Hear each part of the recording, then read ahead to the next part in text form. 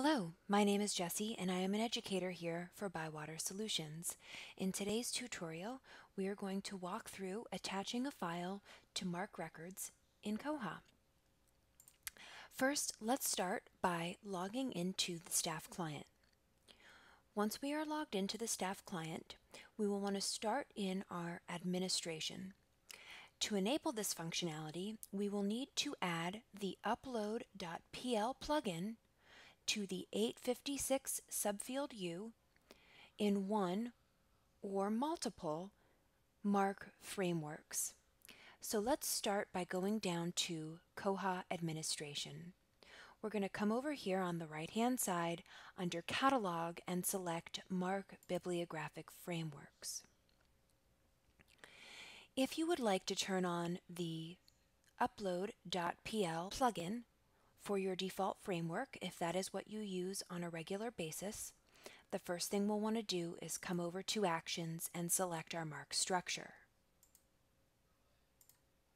From here, we can either scroll down to the bottom and use the next arrows to go to the 856 tag, or you can come up to the top where it says search for tag and enter 856 dollar sign U and that will take us right into our 856 subfield constraints. From here, this will take you into your basic constraints, your advanced constraints, and then finally your other options.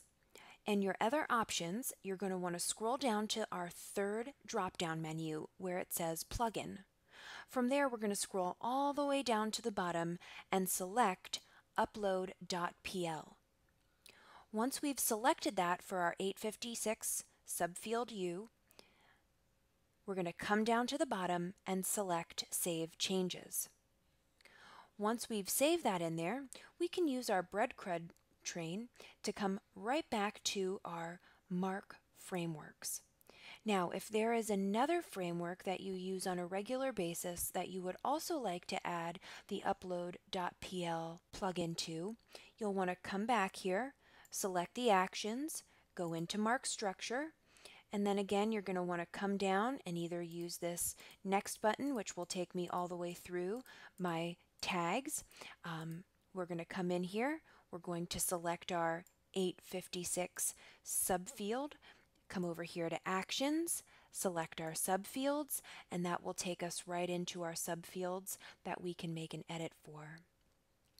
We'll scroll down to the bottom one more time and next to the U subfield we're going to select Edit. Then we're going to come down to our other options, select the public plugin drop-down menu, and then scroll all the way down to Upload PL. Once we've made those changes, we're going to say Save Changes, and now we have added the Upload PL plugin to both our default framework and to our binders frameworks. Now our next step is going to be in cataloging. So let's use our More drop-down menu and we're going to scroll down to Cataloging. From here, we're going to come in to select our new record. Um, whether you use your Z3950 server or you're just doing original cataloging, the next step we're going to do is go into our framework. If we come over to the 8 tab, that will take us into the 856U subfield. And now you'll notice that we have a tag editor next to the U field. If I select that, that will open a new window for our upload screen. So from here, I can select Choose File. This will allow me to upload a PDF, an image, JPEG, PNG, TXT, whatever it may be, into my MARC record. So I'm going to select that, select Open, and you'll see up here where it says Select Files, it gives me that .png. Now here we have our category. You can see it selected that picture files, and I'm going to come over here and say Upload that will take me right in um, where you can see it's uploaded this particular PNG file, so I can come over here and select Choose. You'll notice now that that takes me and gives me a URL that takes me right in. Um, it shows me that URL um, in the system, and now I have that URL that's been attached. You can finish by entering in any public note and then coming up and saving your record.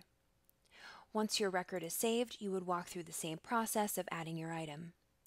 Now let's come over here to the Normal tab. Here you can see um, that we have our 856 online resource, which gives me a link to um, what I put in as Jesse's talk. If I click on that, that will download the file that is attached to my record, and then I can open that right up and see the file that is attached.